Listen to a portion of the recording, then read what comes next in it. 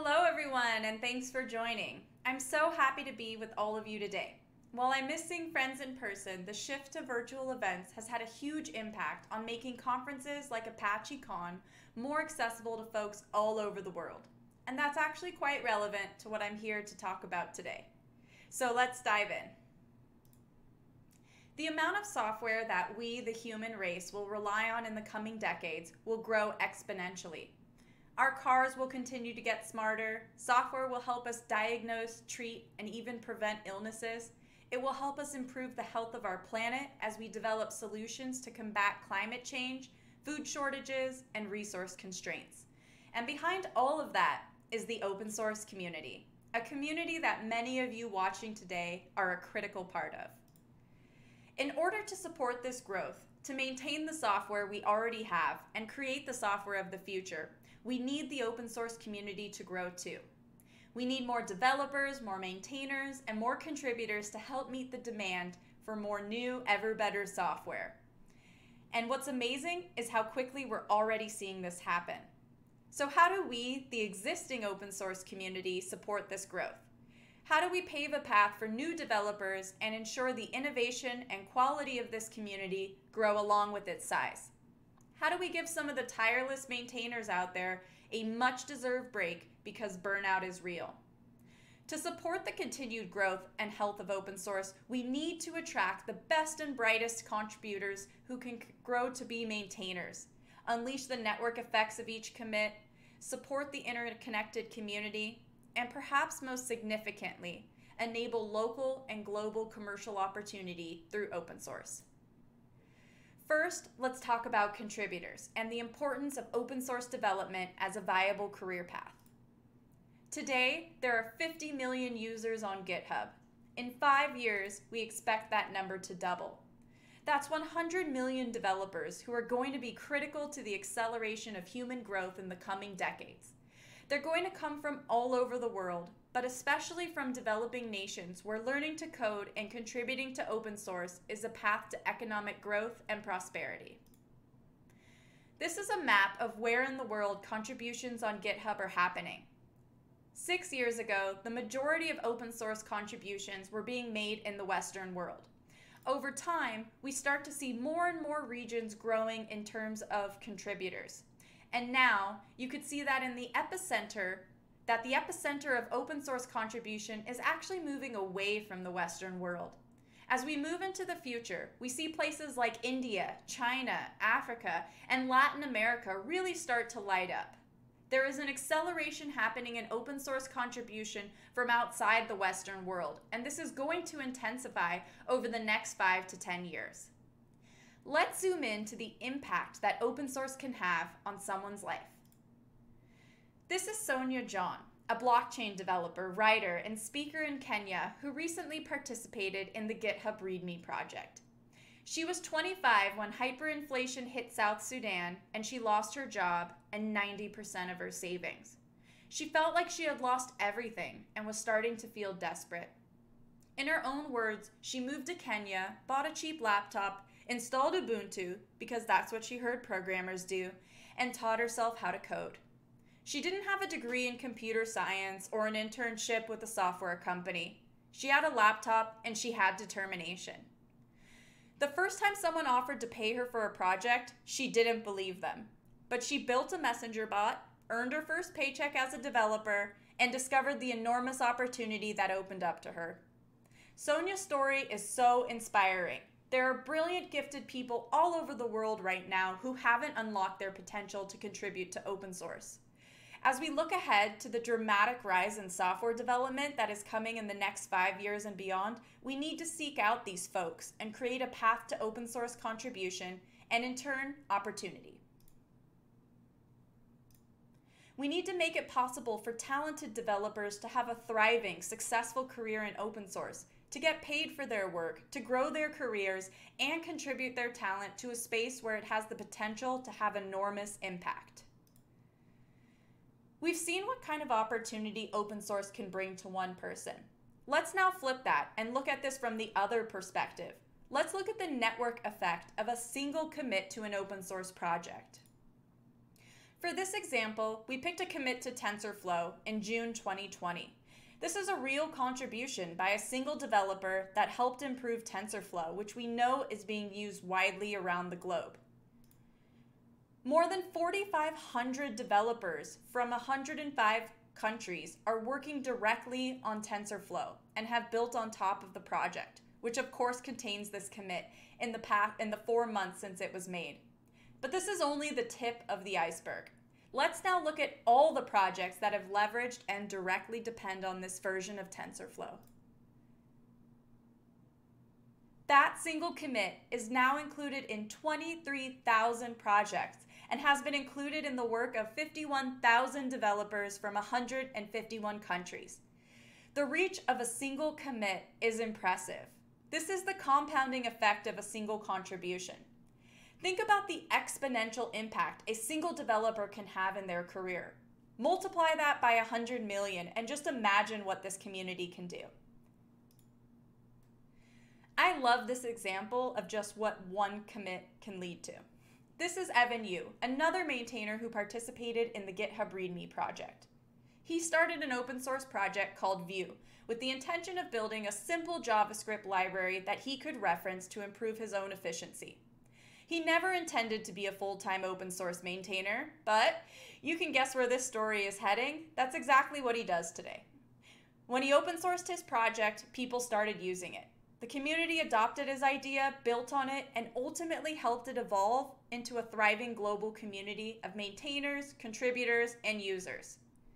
One thing I love about Vue is that Evan's vision for the project is to give any user a low barrier of entry, a good foundation, and room to grow. He said that the ideal user is someone who just got into web development, and they are intentionally designing a way for folks to start building without an understanding of how front end development works. It's this mindset that can have a huge impact on lowering the barrier of entry for new developers to open source.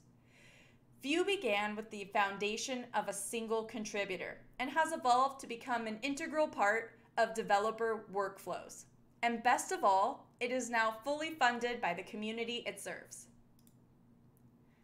The potential of the community is absolutely massive, and every project, every commit is a building block that the next 50 million developers will be able to learn from and build on. So we all need to focus on getting more people to that first commit because, of course, that's where it all starts. So we've talked about the impact that open source can have on Sonia and other people's lives, and we've talked about the value of a commit. Let's talk about money. The growth of the open source community also has real economic impact. According to Korn Ferry Institute, demand for skilled workers will outstrip supply in the next 10 years, resulting in a global talent shortage of more than 85.2 million people. If left unchecked, the financial impact of this talent shortage could reach more than $8.4 trillion in unrealized annual revenue by 2030. This is the equivalent to the combined GDPs of Germany and Japan. Obviously, these numbers are for a broader group than just developers. This is all skilled jobs, but an increasing number of those jobs will require technical fluency, if not straight coding skills. Open source will play a key role in closing this gap, and in doing so, has the power to help accelerate emerging economies. Let's take a look at one incredibly inspiring program related to this. Laboratoria is a social entrepreneurship project in Latin America that trains women who have been unable to start careers in web or UX design. The organization then connects these women with companies and helps them launch a career in tech. Since its inception, Laboratoria has trained over 1,600 women, and 78% of them have started technology careers across 17 industries.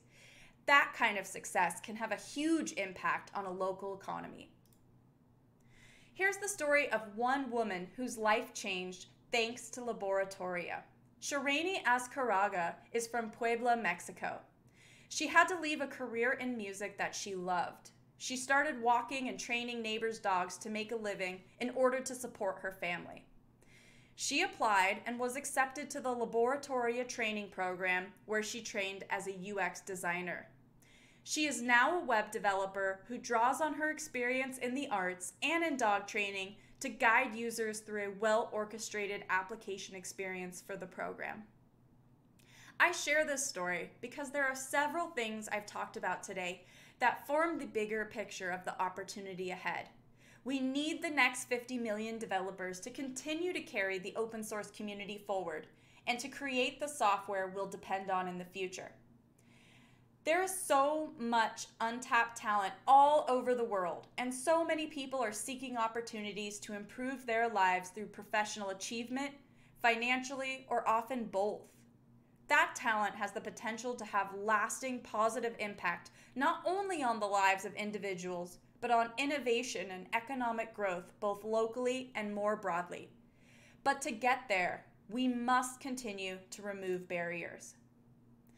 In Major League Hacking's most recent census, which is a survey of almost 100,000 collegiate hackathon participants, almost 62% of respondents said that they had not contributed to open source yet.